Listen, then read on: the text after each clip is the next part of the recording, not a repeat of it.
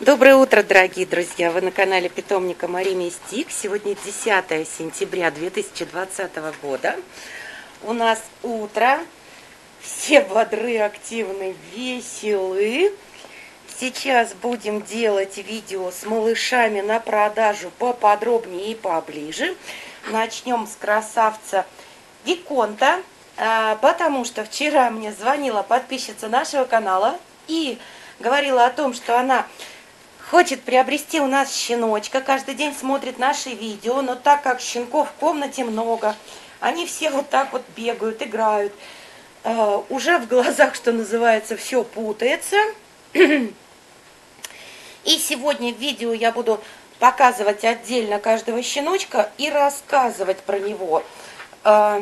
И одновременно отвечать на вопросы моих покупателей, здоровеньких ли щеночков мы продаем. А, как определить вот так э, зрительно здоровье э, щеночка, скажем так, если вы пришли покупать, приобретать щенка, как можно определить, здоров щенок или нездоров? Ну, во-первых, смотрите на поведение наших щенков. Конечно, я уже неоднократно говорила о том, что вот таким образом э, играть, бегать, веселиться, они делают это не постоянно, а, скажем так, какое-то количество времени детишки играют, бегают, веселятся, далее потом кушают, например, и ложатся спать. Эм, поэтому, если вы пришли в тот момент, когда дети спят, вам трудно будет определить, скажем так, э, многие почему-то считают, что и характер щенка можно определить именно таким же. Ох, ох, ох, ох. Слишком разыгранные. Хотела им малышечку. Э, слишком разыгранные. А вот. Потому что щенок с просони, он не будет, конечно, вот так вот сразу Э, выбегать к вам, вы пришли его выбирать, все проснулись, сразу выскочили и начали играть. Нет, конечно, э, ребенок спал, он сначала должен встать. Первое, что они делают, писают и какают. Э, вчера на видео как раз я делала разговор был про корма. И одновременно, когда я делала видео, у нас щеночек сходил на пеленочку, покакал, сделал свои делишки. По, скажем так, состоянию какашечки можно также определить состояние Э, здоровье щенка. Не обязательно это не говорит о том, что если стул разжижен чуть-чуть, это прямо сразу больной щенок. Бывает разжижение стула и от питания, кто-то что-то переел, э, часто от свежих овощей слабит, от тыковки слабит, если они много ее съели. Э, далее какие-то переизбыток в питании того же белка, белковой пищи, Как мне вчера писали в комментариях, корм роял канин говно, там мяса не найти. А, чихуашки в сутки, в сутки вот этой взрослой собачки по граммам нужно 30 грамм мяса, 30 грамм. Вы представляете, это кусочек сантиметров 5. Это на взрослую собачку. Если у нас маленький щеночек, мы вчера разбирали количество вот этого корма, а, 29 грамм мы разделяли на несколько кучек кормления щенка. Получалось по несколько горошин вот этого корма на одно кормление, чтобы несколько раз в сутки покормить питомца. Микроскопический 5-сантиметровый кусочек мяса делить также на 5-6 на кормлений еще более, скажем так, проблематично. Поэтому давайте не будем забывать, что переизбыток – вот так вот, видите, какает на пеленочку у нас ребенок, как положено. Это многоразовые пеленки, наш туалет. Какашечка достаточно плотненькая, сформированная. Значит, на сегодняшний день с животиком у малыша все, слава богу. Значит, с питанием у нее тоже все, слава богу. И если вот идет какой-то переизбыток того же даже белка, количества мяса в питании вашего питомца, тоже приводит к разжижению стула. Поэтому за стулом своего питомца, за его какулечками следим внимательно, обязательно. На протяжении всей его жизни и молодой собачки, и взрослой собачки, и старенькой собачки, и щеночка. Э, состояние, как выглядит его какуленька – часто говорит о том, как чувствует себя собачка. Да, если это жидкий какой-то стул, то это бывает и симптом какого-то заболевания, и просто какого-то сбоя в организме, что-то собачка перекушала, и у нее разжижился стул. Поэтому надо быть внимательным и смотреть не только на, скажем так, состояние какулечек, но и на общее поведение вашего питомца. Вы прекрасно понимаете, что ни собачка, ни человек, если он себя хорошо чувствует, он не будет вести вот так себя активно, бодро и весело. Если даже у него заболит животик, навряд ли он будет веселиться вместе со всеми, носиться, играть и активно кушать. Хороший аппетит – это также признак состояния здоровья вашего питомца. Если собачка по каким-то причинам отказывается от еды, значит опять что-то надо внимательно наблюдать за питомцем, что не так. Просто она сыта, в данный момент она не хочет кушать – может быть, ее что-то напугало, она сейчас вот не готова кушать. Поэтому я уже неоднократно говорила о том, что мисочки с сухим кормом у меня стоят в свободном доступе. Недоедание и переедание, в принципе, как бы если у вас стоит постоянно сухой корм в мисочке, вот так, как у Дайнерис, вот она бегает, кусочки какие-то схватила, играет с игрушкой, одновременно жует. У нее эти кусочки, видите, растасканы по всей кровати. Э, маловероятно, что она тут переест или не доест, э, потому что больше, чем положено, она не съест. Вот у нас, если кто-то особо жадный начинает переедать не от голода, а чтобы другому не досталось, как правило, э, это все выходит обратно, извините за выражение, в виде рвоты. То есть он вот переел и вышел, отрыгнул это лишнее. Вот. Насчет, скажем, плохой, хороший корм по количеству белка – ну, я уже сказала, что переизбыток белка в организме, особенно растущего э, чихуа, может привести к разнообразным заболеваниям. Э, даже мы с вами разговаривали на тему слабого места карликовых пород собак, коленная чашечка, пателло развитие при неправильном выращивании и кормлении. Э, опять-таки, про корм. Насчет там много в нем мяса, мало в нем мяса, отсутствует ли в нем мясо.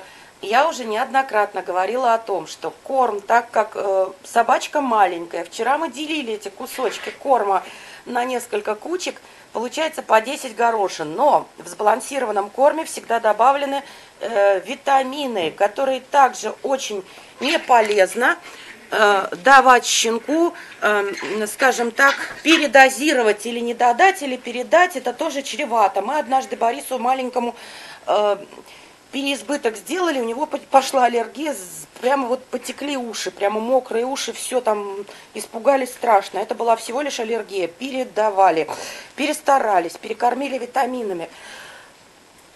Поэтому никто не запрещает, я уже говорила, ветеринарные врачи, э, так скажем, рекомендуют, если у нас выставочная собачка, мы готовим к выставке или восстанавливаем собачку после родов кормления. Днем сухой корм, потому что он сбалансированный, в свободном количестве, сколько съест, столько съест. И на ночь перед сном кусочек сырого мяса, поверьте, тот самый кусочек сырого мяса, который ваша собачка съест на ночь перед сном, он ей восполнит вот весь необходимый, что называется, э, процент мяса в питании чихуашки. Э, чихуашка это не ротвейлер, здесь не надо полкило мяса, понимаете? Здесь 30 грамм на взрослую собаку в сутки, ребята, это очень мало. Поэтому, если перед сном вы даете кусочек сырого мяса, утром по желанию, вот когда Инерис у нас малышка, у нее зубиков не было, ей проще было с утра творожок. Сейчас подросла, с удовольствием кушает сухой корм. Ваша собака будет по белку получать замечательно все, что ей необходимо, по кальцию также. Вы можете, в принципе, конечно, я так не поступаю, потому что у нас всегда хорошо собаки кушают сухой корм э, добавлять какой-то кальций отдельно для, скажем так, вот э, поставить ушки и так далее. Э, вот тема ушей и кальция, отдельный разговор про питание, про хорошие и плохие корма уже говорила, уже говорила, повторю. Э, если вы будете кормить, скажем так, для того, чтобы питание было хорошим, не обязательно, ну, неважно, скажем так, вам важно, чтобы это, этот корм усваивался у вашего питомца. Для того, чтобы он усваивался, э, надо, чтобы в организме собаки были живые бифидобактерии. То есть для этого я даю сырые овощи своим питомцам, именно сырые, именно кусочками, потому что без добавления различных масел они не усваиваются, они проходят как транзитом через организм вашего питомца, но при этом в организме, в кишечнике образовываются живые бифидобактерии. Также при кормлении сырым мясом, как мне тоже писали, а можно ли еду со стола? Но если вы питаетесь сырым мясом, можно, только в очень маленьком количестве. А, потому что именно сырое мясо вызывает вот этот активный рост живых бифидобактерий, поэтому я сказала, дается это все на ночь, чтобы это все усваивалось, э, начиналась активная жизнь в кишечнике вашей собаки, э, образовываться, развиваться живые бифидобактерии для того, чтобы у вас усваивался э, сухой корм у собачки, витамины, другие, скажем, полезные элементы в рационе вашего питомца. Если же у вас что-то нарушено, то чем бы вы его ни кормили, собственно, результат вы не добьетесь, не получите. Надо, чтобы все усваивалось у питомца. А понять о том, усваивается или нет, вы можете по количеству фекалий. А много какашек, значит, э, как, как говорится, прошла еда транзитом. Съели и выкакали. Поэтому важно смотреть э, владельцам питомцев за какашками, как вы видите, по очень-очень многим причинам.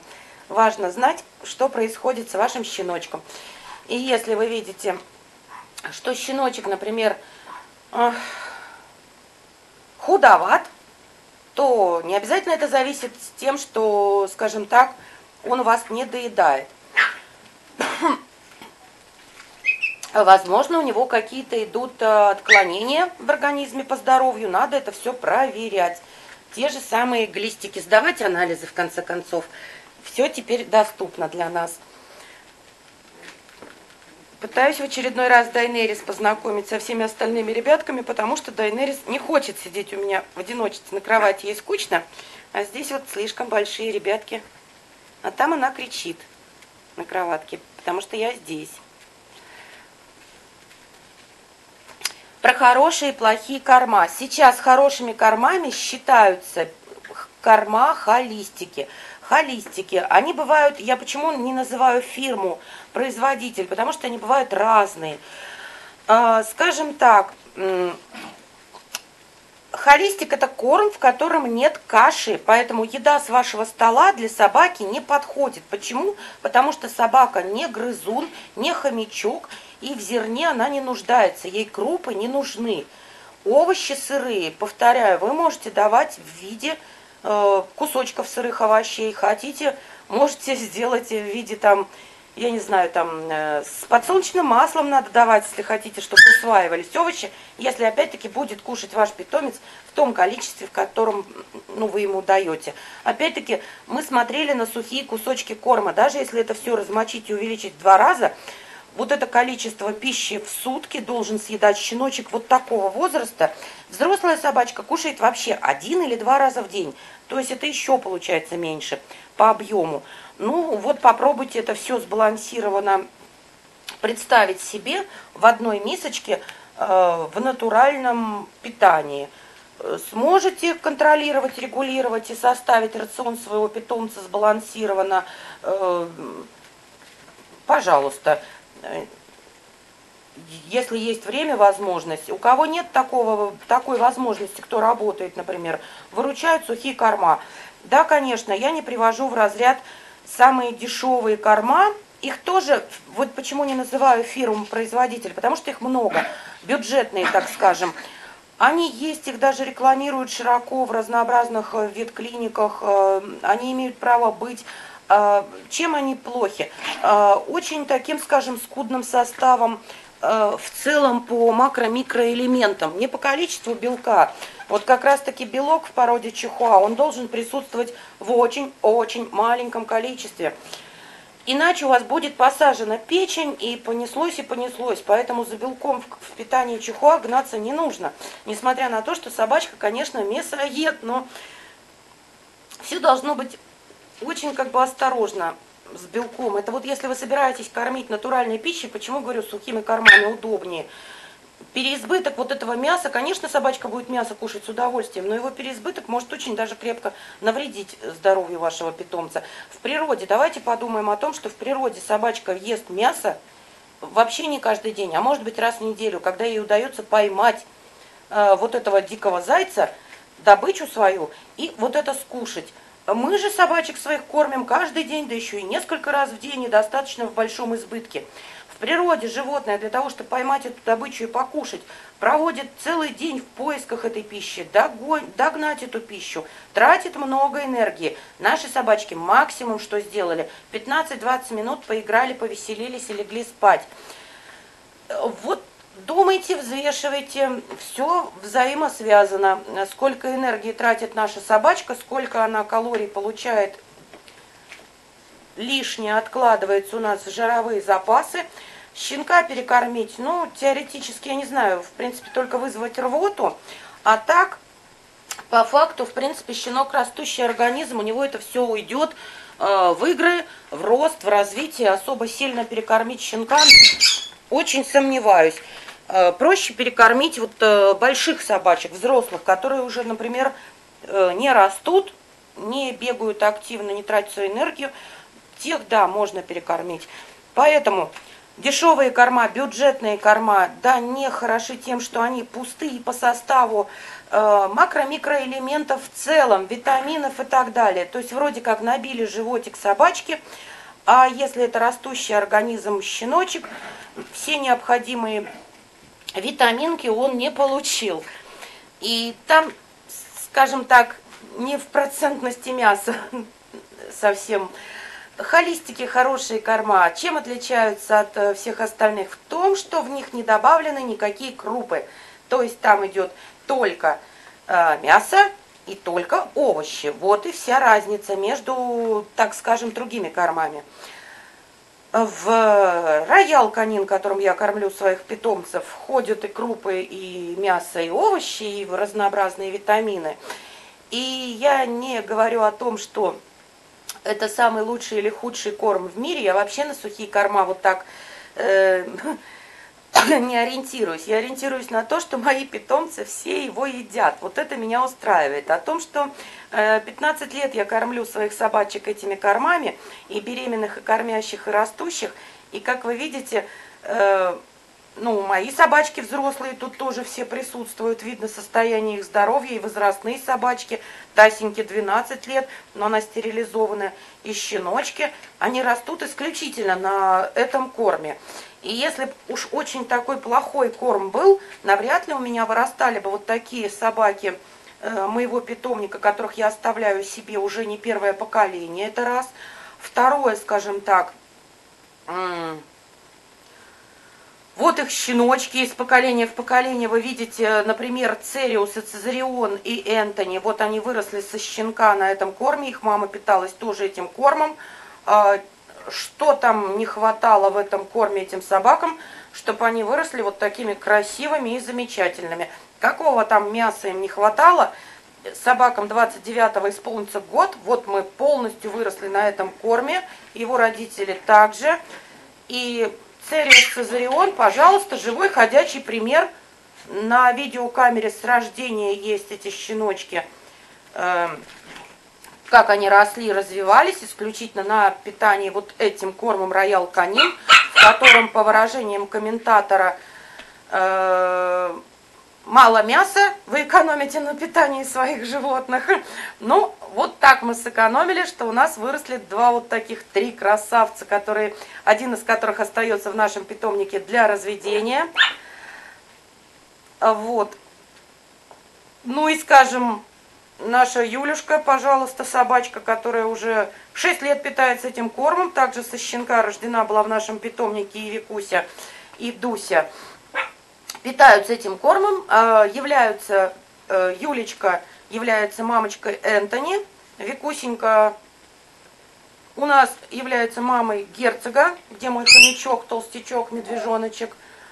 А, так, одним словом, дорогие друзья, для меня, для меня конкретно, опять-таки, не подумайте, что это реклама, я просто пытаюсь ответить также на комментарии а, гостей нашего канала и, собственно говоря, наглядно ответить на комментарии гостей нашего канала, которые э, рассуждают на тему Хороший корм, плохой корм. Для меня лично корм меня устраивает, потому что состояние моих питомцев, здоровье и, как вы видите, аппетит замечательный. Кушают все собачки этот корм у меня замечательно. Повторяю, не реклама корма, потому что нельзя рекламировать какой-то корм. Меня часто спрашивают, какой корм я считаю хорошим. Я считаю хорошим тот сухой корм или натуральное питание, которое подходит индивидуально вашему питомцу. Если он хорошо кушает, после этого у него хорошие какашечки, если он при этом хорошо выглядит, если с собачкой все замечательно, значит вы его правильно кормите. И это не обязательно может быть сухой корм, это может быть натуральное питание, если вы умеете правильно сбалансировать рацион вашего питомца. Опять-таки, Совсем недавно мы ездили э, в ветклинику. Я повторяю, мы регулярно следим за здоровьем своих питомцев, так как это наши не только питомцы-любимцы, но и производители, племенные животные. Мы регулярно делаем не только УЗИ, следим за зубным камнем и все остальное. А, мы сдавали кровь. Общий клинический анализ крови был сдан у Варвары и Масика. И по анализу крови мы также можем судить о состоянии здоровья нашего питомца, все ли в порядке с его внутренними органами. Если бы мои собачки после питания кормом роял канин были нездоровы, им чего-то бы тут не хватало, анализ крови показал бы также э, уже, скажем так, не зрительно, а прямо вот клинически по документам, по ветеринарным анализам, что что-то в организме болит у собачки, что-то не так, и мы бы срочно начинали принимать меры. Иначе такая собачка не смогла бы забеременеть, выносить беременность, выкормить потомство. При этом вот у нас Тесонька только что откормила детишек, и, как вы видите, не худая, ребра у нее не торчат, э, веселенькая, играет со своими детишками. Вот ее детишки. Повторяю, это Виконт, а вот рядом сидит Бонни. Да, совсем близко. Вот снимаю двух мальчишек для подписчицы моего канала, которая э, перепутала, запуталась, кто из них Виконт, кто Бонни. Вот это у нас Виконт. А вот это Бонни. Бонечка завтра едет на прививку. Бонечке завтра три месяца. Он на одну недельку, на семь дней старше, чем Виконт. И вот они отличаются по размеру. По характеру, как вы видите, достаточно активные боевые все ребятки. По здоровью, еще раз, э, веселый, активный, бодрый щеночек, играющий, хорошо кушающий, хорошо какающий, без поноса, без разнообразных выделений из э, носика, глазиков, там, подтеканий, гноений. Э, больным, ну, скажем, клинически больным на данные 30-40 минут быть не может. А если у собачки что-то болит, собачка будет грустить, будет видно по состоянию внешнему собачки, как она выглядит, э, что ей плохо, что у нее что-то болит, но это видно, как и у людей, но не будет она веселой, активной, бодрой. Отдельный момент, конечно, никто не спорит, что кто наигрался, тот вот так вот очаровательно будет спать в момент, когда остальные играют, поэтому еще раз к вопросу выбора щенка, когда все, я хочу приехать и выбрать живую, сравнить. Ну, сравните, вот этот щенок наигрался и спит, он э, играл минут 30 назад, вот эти проснулись попозже, поэтому они играют сейчас. И как можно их сравнить, если вы хотите выбрать из вот нескольких щенков живую в сравнении? Э, это щенок, его не заставишь э, по команде пойти поиграть, повеселиться. Это к вопросу о том, Здоровых ли щеночков мы продаем. Видеодневничок, вот наблюдение за нашими питомцами, я делаю ежедневно и бывает по несколько раз в день, если вижу что-то такое смешное и интересное. Э, я не могу, повторяю, как-то тут э, подстроить, э, сшить там какие-то там, не знаю, как-то обмануть вас в том, что вот так они себя ведут. Вот так они себя ведут. И вот такое поведение, вот наглядно показывает, что собачка здоровая, понимаете? Он не будет вот так вот тут вот бегать, задрав хвостик, и лаять, и тявкать, и ко всем приставать, если он будет плохо себя чувствовать, неважно от чего, может быть, просто животик расслабило, болит, все равно он будет грустным.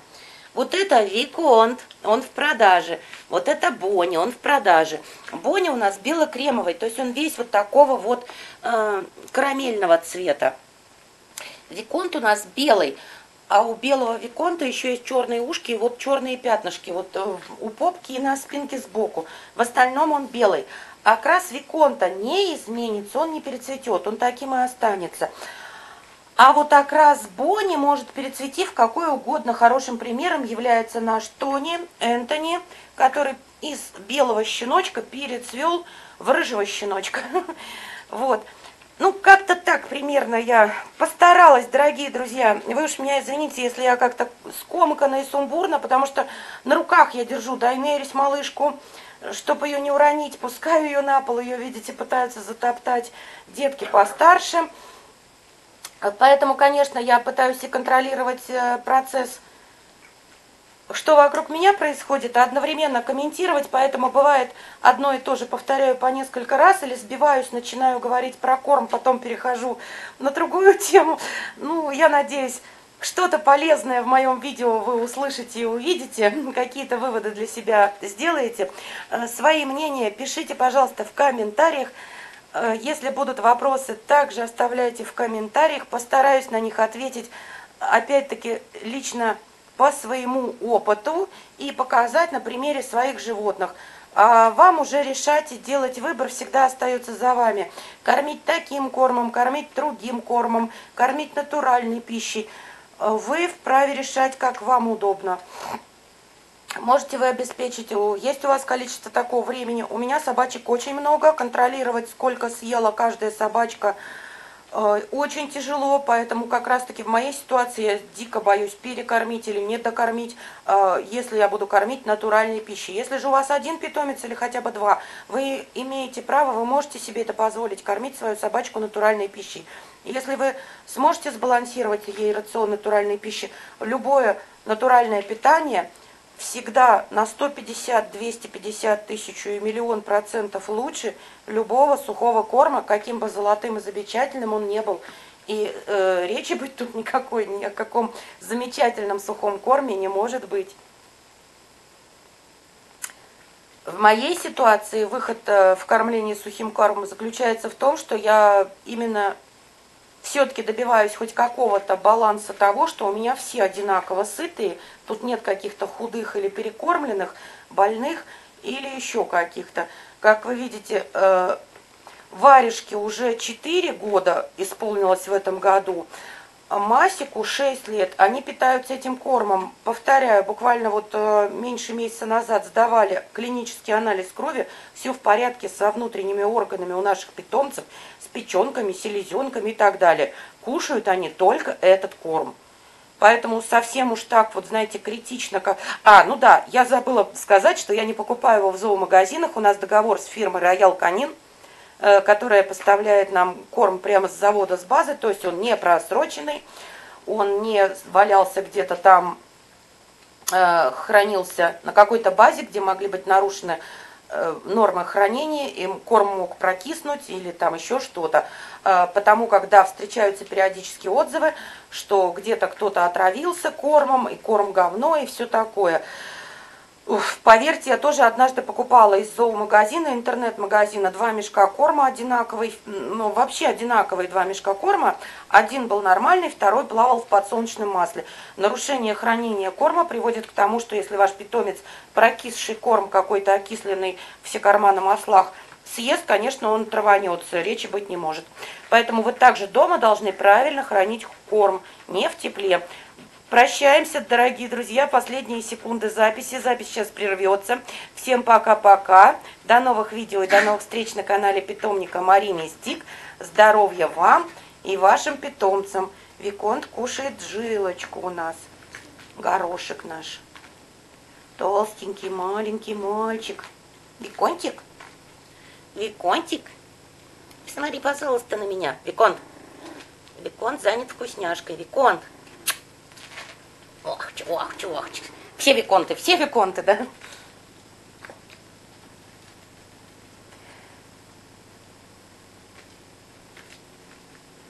Ой, у нас э, второй день МЧС присылает штормовое предупреждение, ветра и бури. Если не будет выходить видео, значит у нас нет света и интернета.